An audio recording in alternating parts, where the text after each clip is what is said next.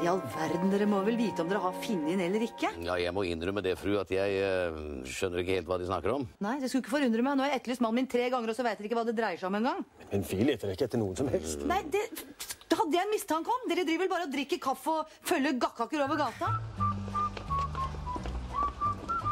Ja, nå gleder du deg vel til jul, Kjell? Ja, tenk om vi får dusse her, da.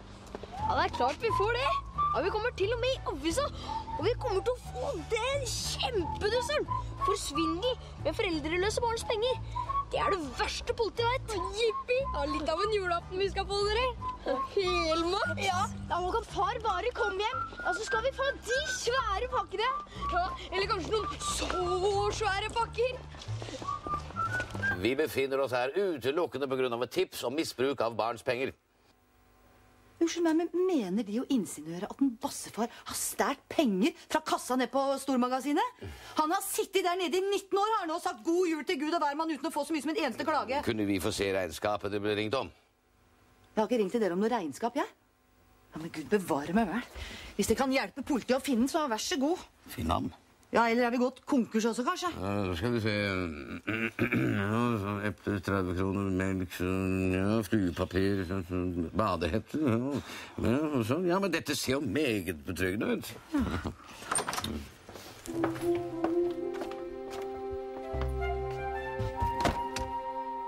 Ja, Godt at dere kunne komme. Nå skal dere bare høre. Så det hele er bare svindel og bedrag. Jeg håper du forstår at de beskyldningene du nå kommer med, er meget alvorlige. Vi snakker her om en av landets dyktigste advokater, som du altså påstår har gjort et durabelig underslag. Jeg er enig, Egon. Du kan ikke gå rundt og si hva du vil om ærlige folk. vet du. Å nei, nå må jeg i butikken igjen. Herregud, jeg håper de ikke skal ha dadler. Ja, hent kofferten. Ja, så Dere mener altså at dere kan føre bevis for dette her nå, da? Å ja da. Ja, nå skal du få se en koffert som er full av svindel. Den, den er ikke der. Hva er det du sier? Kofferten er borte. Jeg har gjemt den under senga. Den er borte som ei sviske. Det er ikke sant. Jeg håper at dere er klar over at det er straffbart å komme med falske beskyldninger. Og ikke minst det å holde politiet for narr. Kjell, kofferten må være der. Men er du sikker på at du har sjekka ordentlig? Ja, den er der bare ikke. Eh, ja, ja, ja, men da har vel ikke vi mer å snakke med hverandre om da, for øyeblikket. Hm? Ja, det var som jeg tenkte. Rett og slett barnestreker. Nei da, det er ikke det. Jo, men Hallandsen og dette julefondet har jo stjålet hele kassa. La meg nok en gang få minne dere om at så lenge det ikke eksisterer bevis for disse vanvittige beskyldningene, så er uttalelsene meget straffbare. Kom, on. Før dere går, så vil jeg gjerne vite om dere har funnet noe ut om en bassefar. Ja, men Jeg aner ikke hva de snakker om, menneske! Kom! Vi er jo vanvittige alle sammen. Så klage til sjefen deres skal jeg. Mutter'n, har du sett kofferten som lå under senga mi? Du mener den røde? Ja, nettopp. Hvor er den? Den ga jeg bort ja, til noen sånne speidergutter som kom og samla på sånt skrot. Jeg tenkte at de kunne... Var Egons. Ja, ja, ja. Så får vel Egon passe litt bedre på kofferten sin. da. Jeg kommer. Snakk om galehus! Her prøver jeg å redde jula for oss alle, og så ødelegger bare den gærne mora di alt. Men for å jammen være nok, Egon, så snakker du verken til mor eller til meg, bare så du veit det. Bossfra forsvinner jo allting. Ja, da må jeg være enig med en Kjell. altså. Han er jo klin aleine. Du må huske på det. Jeg er klin aleine, jeg også. Jeg må tross alt bruke huet for det. Du kunne jo ikke vite at det var din koffert, jo. Du kunne jo like gjerne tatt med deg hjem til barnehjemmet. Jeg stolte på dere. Men mor, Ja. åssen så de ut, den du ga kofferten til? Nei, jeg var sånn lys i luggen og sånn, og sånn omtrent så høy. sånn. Ja, og den andre? Ja, Han var omtrent så høy, han òg. Hva skulle du med kofferten, da? Jeg kan ikke begripe hvorfor jeg er så besatt av den kofferten. Det er viktigere enn du tror. Prøv nå om du ikke kan huske noe, i hvert fall. Ja, eh, Det var noe sånne Det var speidere, som jeg sa. De skulle selge den på en basar langt nede i gata. Ja, hei, jeg Jo, du, du, det er Gudrun her. Jeg trengte deg, så jeg måtte lufte litt med deg. skjønner Sånn. Gratulerer. Altså, se, Egon, det er Ja, er kofferten.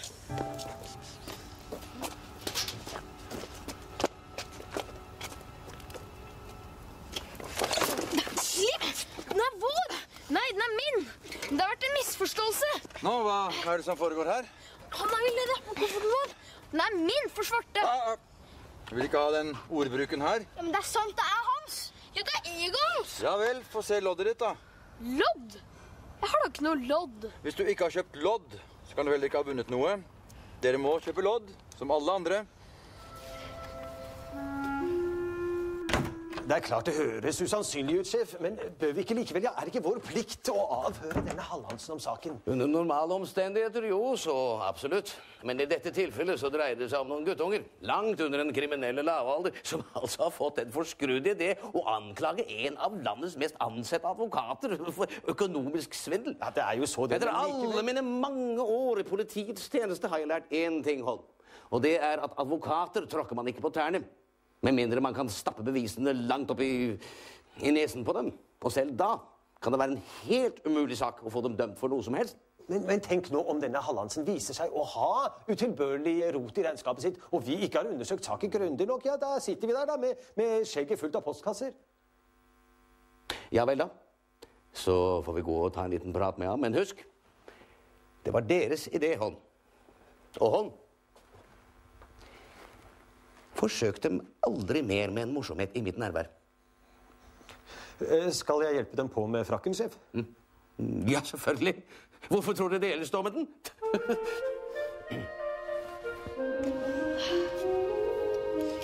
Benny, Kjell, har dere noe penger? Nei. Hva gjør vi nå, Egon? Ingen penger, ingen lodder. Hva med denne løsparten? Den har jo vært minst flere kroner. Nei.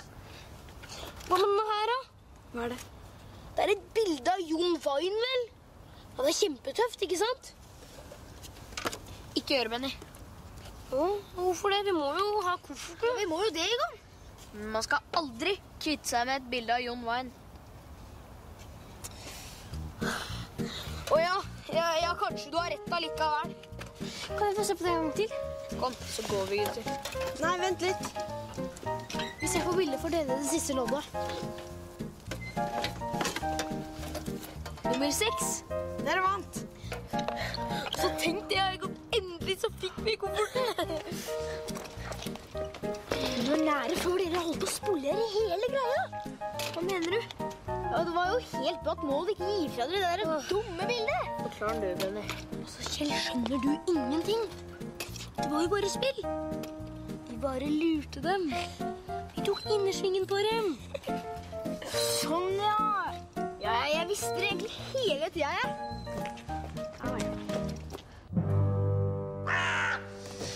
Vi kan jo av svært gode grunner ikke anmelde dette til politiet. Vi får bare håpe at uh, tyvene, når de oppdager at kofferten ikke inneholder penger, at de kaster alt sammen. Bare ikke politiet får tak i innholdet, da er vi solgt. Hva er det der? Ah, det er bare en liten bjørn jeg skjøt for mange år siden. Bjørn, de har skutt. Ja, nå har jeg omsider fått den stoppet ut. Hvordan det? Det er forbudt å skyte bjørn i Norge. Ja, ja, ja. Ja, denne skjøt jeg på Svalbard. Men da skulle den vel ha vært hvit? Hvit? Som en isbjørn, altså. Ja, unnskyld at jeg forstyrrer, men det er noen fra politiet her som så gjerne vil snakke med dem. Ja, send det. Politiet? Eh, hva er det de vil for noe, da? Det har visst noe med regnskaper å gjøre. Ja, send dem inn.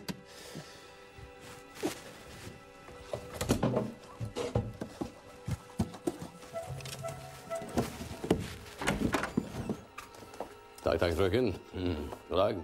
God dag. Ja, Holm. God dag, mitt navn er Holm. Og eh, dette er eh, Kriminalbetjent Hermansen.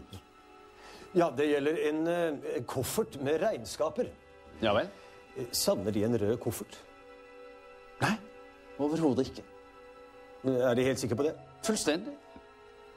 Eh, Hva, hva, hva var det de sa den inneholdt? Regnskap? Ja, hva var det jeg sa? Ja, ja. Nei da. Da er vel alt Ja, eh, dette er bare guttestreker. Unnskyld, hva, hva var det de sa? Hva mener de med guttestrek? Ja, det, det dreier seg bare om noen guttunger som påstår at de er i besittelse av en rød koffert som liksom skulle ha tilhørt dem. Typisk resultat av kjedsomhet og ungdommelig fantasi. Ja, guttenes bakgrunn er heller ikke den beste, dessverre, så dette får vi bare glemme. Eh, Når jeg tenker meg om, så er det i grunnen synd på disse guttene.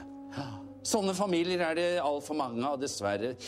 Hvis vi bare kunne få vite hvem dette er, Så kanskje Lykkebos julefond kunne gi dem en hjelpende hånd nå like før julen ringes inn? Det må jeg virkelig si. Vel, pussig nok så kommer faktisk en av guttene nettopp fra Lykkebo. Ja, han heter Egon Olsen. Og så har vi en eh, Kjell Jensen, hvis eh, far nettopp har mistet jobben sin som julenisse i et av byens varemagasiner, og nå er sporløst forsvunnet. Ja, det er stor synd på gutten, stakkars. Ja, Bedre blir det jo ikke at hans mor eh, på toppen av det hele er blitt litt sånn Litt hva? Litt ko-ko, hvis du skjønner. Ko-ko? Jeg forstår ikke helt. Skjør i knollen. Ja? Men gode gud og mann. Pling i bollen. Aha, pling i bollen. Nå forstår jeg. Mm, godt. Og hva het han? Kjell Jensen. Kjell Jensen. Ja. Ja, og, og den siste Ja, Benny Fransen han har også en meget trist bakgrunn. stakkars. Hans mor er død, og hans far er en slags omreisende i morosaker. Jaså? Ja, Prompeputer, løse hundebæsjer, udyr av forskjellig slag, pappneser, løsskjegg Ja, selvfølgelig alt som smeller. Takk, takk. Jeg vet utmerket godt hva som er morsomt. Ja, øhm, ja, det var grunnen det hele. Derfor vil vi bare be om unnskyldning for dette besøket. Kom, Holm. Hva var det jeg sa? Guttestreker? Dette kunne vi ha spart oss. Egon Olsen. Kjell Jensen. Benny Fransen.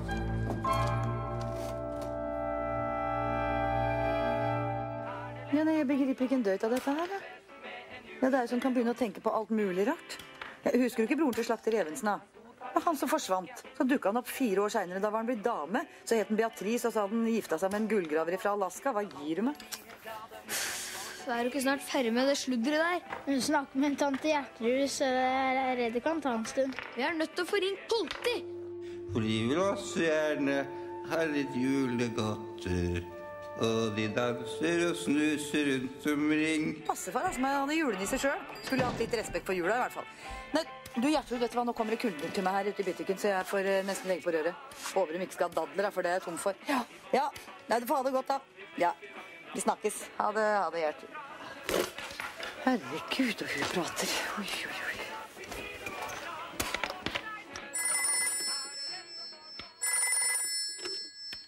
Hallo, dette er hos Jensen. Ja, bare et øyeblikk. Kjell, det er til deg. Til meg?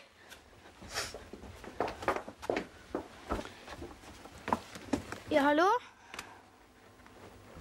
Uh, Hva for noe?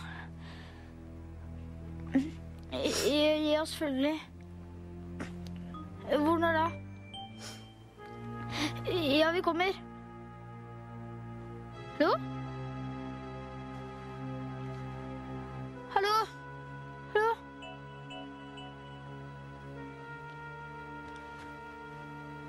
Det var Hallandsen. Så tatt fatteren til fange. Hvorfor får han ikke tilbake hvis vi ikke gir ham kofferten?